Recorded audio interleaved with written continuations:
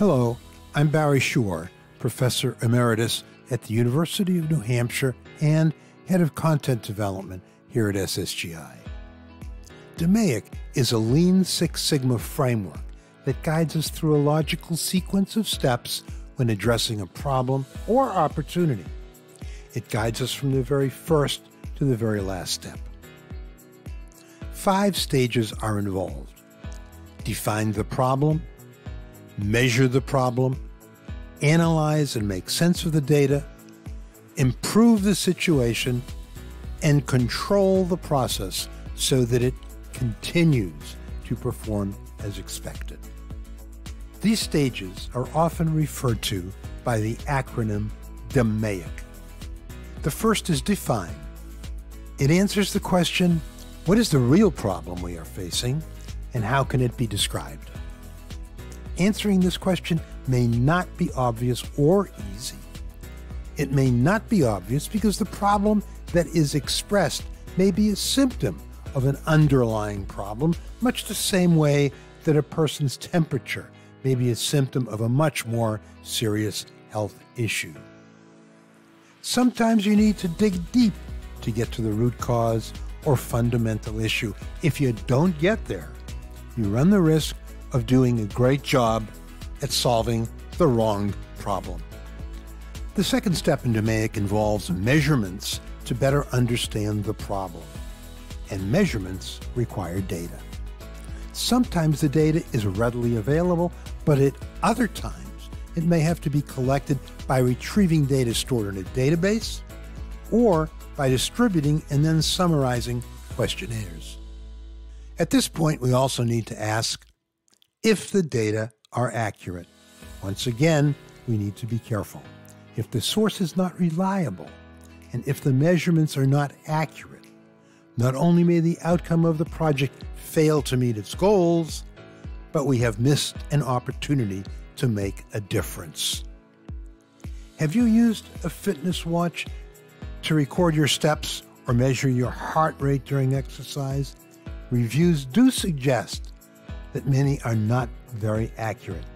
But in a business decision, we need accuracy. The third step focuses on analyzing data to better understand the problem, further reveal its root cause, and point to a solution.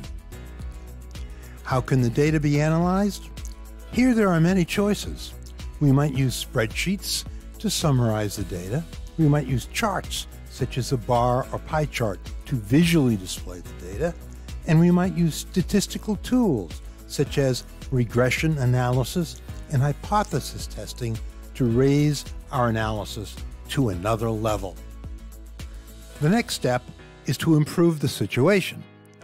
Depending upon the nature of the problem, this could be as simple as eliminating steps, purchasing new equipment, scheduling a training session, or as complex as redesigning almost every step in a process. Often, we cannot determine in advance which of several alternatives might work. In this situation, experiments can help. In website design, for example, we might try several different designs and see which one leads to the most responses. We call it A B analysis. The real challenge when we attempt to improve a process is resistance to change. Those on the team might prefer the routines and familiarity of the old process. So, working with them involves not just process skills, but behavioral skills as well.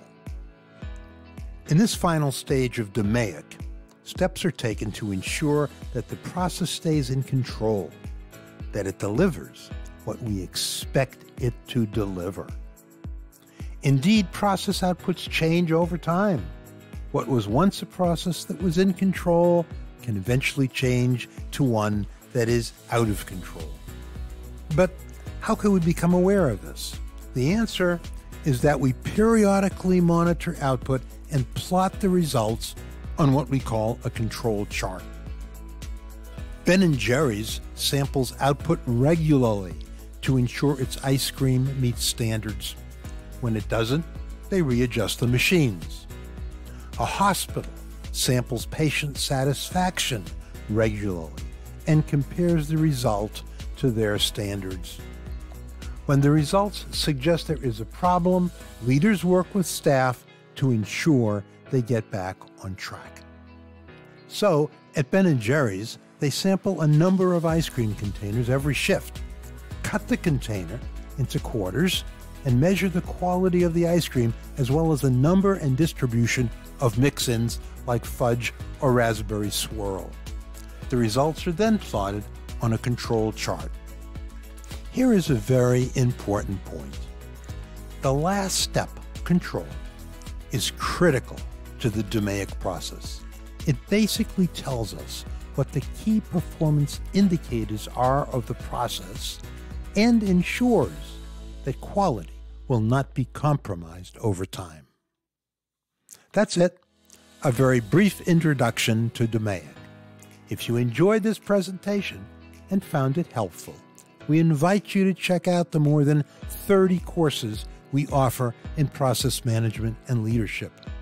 Click below for more information about the certification courses that will help you develop professionally.